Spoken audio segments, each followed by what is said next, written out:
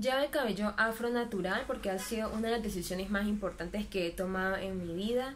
Eh, fue una decisión que no me arrepiento y de la cual he aprendido demasiado en cada una de las etapas en donde he caminado. Ha sido también momentos de mucha construcción y lo que más me encanta es que puedo mostrar a través de mi cabello toda esa seguridad y esa autenticidad. Eh, también ha sido también un aprendizaje no solamente de cómo es mi cabello, sino toda la historia que hay detrás de ella.